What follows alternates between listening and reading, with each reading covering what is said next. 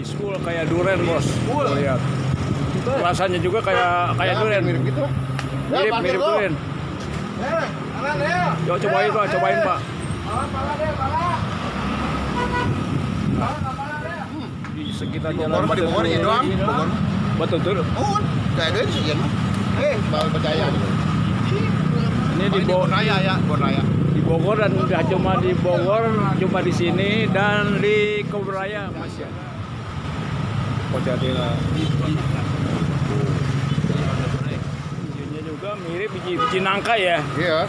Cuman Ini keras doang, Pak. nangka, Iya tuh, lihat ini kulitnya kayak durian ininya. Iya, mirip mirip durian. Dagingnya.